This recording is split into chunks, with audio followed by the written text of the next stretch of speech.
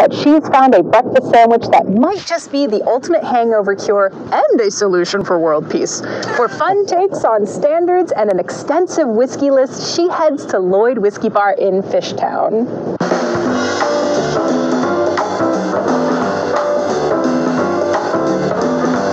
Lloyd Whiskey Bar prides itself on being a casual environment despite presenting incredibly well thought out cocktails and food. We treat it like fine dining aspect in the back, but we present it to you very casual, very fun, also very playful. My experience down south was in the south for five years between Mississippi and New Orleans. So I kind of take that approach to cooking, pairs wonderfully with all our whiskeys. We always do a whiskey tasting like quarterly, so I'm always pairing whiskey with the food, and I'm also cooking with the bourbon and the whiskey, trying to incorporate that in the food as much as possible. Our stock, which you can see behind me, is about 200 bottles strong.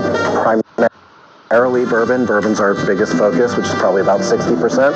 And then we do a lot of rye, so certainly American, um, followed by Scotch, and then Irish. That would be kind of the hierarchy of what we offer at very like neighborhood-friendly prices, which keeps people in and it keeps people interested and allows people to taste something that might be prohibitive elsewhere.